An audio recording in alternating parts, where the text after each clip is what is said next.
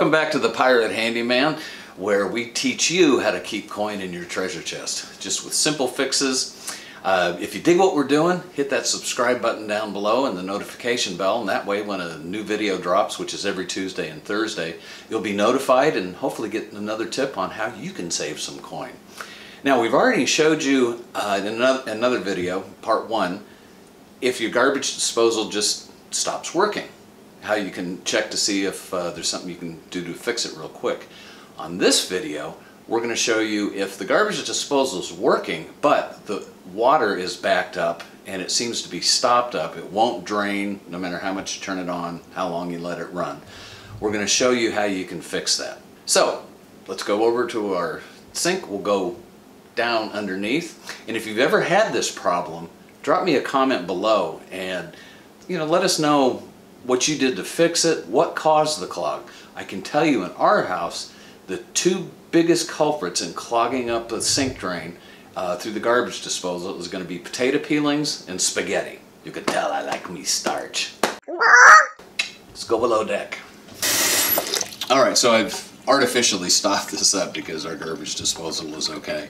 But if you have standing water, and even in running the garbage disposal, it doesn't uh, doesn't work, or if your drain from your uh, dishwasher happens to go into this side, and every time the dishwasher comes on, it's pushing sediment up, that means you've got a clog or even a partial clog.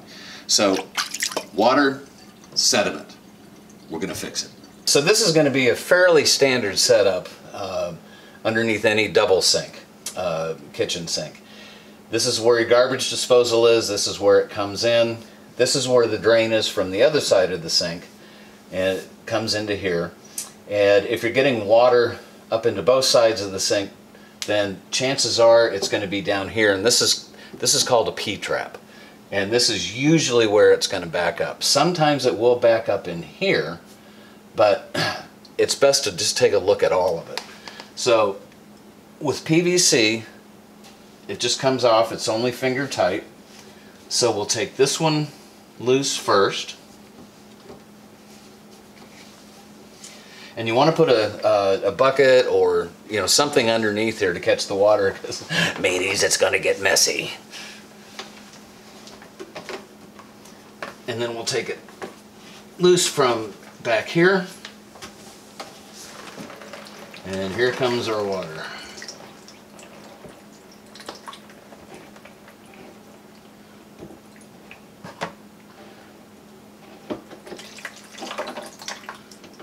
This just comes off like this.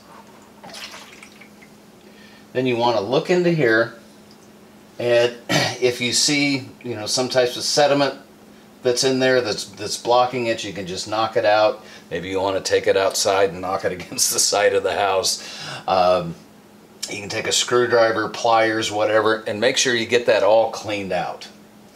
Now, once we've done this, there's a couple other things I always like to do just as, as preventive maintenance. So I'm going to take this loose over here from the right side sink.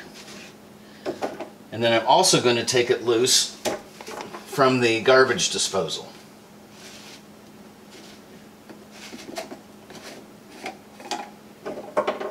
And I'm just going to look in there and see if I've got any stuff that's building up and I'll clean that out. And then you want to see in here too if you've got underneath here any stuff. In that case, you want to take this loose, pull all of that out, and then just clean it out. Just give it a good cleaning. You can use the hose outside to spray in here and uh, and get it all cleaned out. But that this will take care of your problem. So when we put it back together,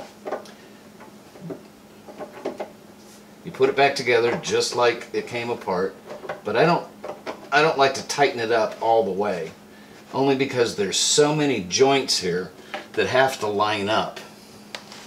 So I'll get that pushed up, put this back on, push it up.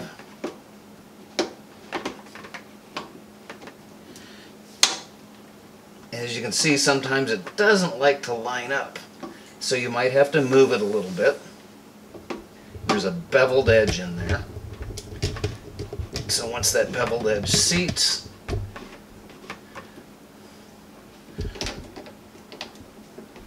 Now, as you can see here, I don't know if you can see that little ring.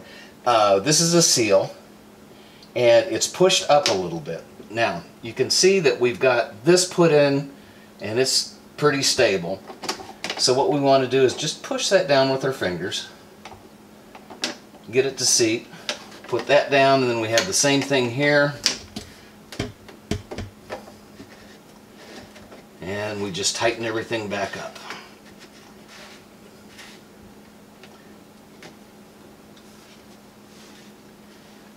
Then of course the first thing you want to do is turn on turn on your water before you get rid of the bucket just in case something didn't seal correctly.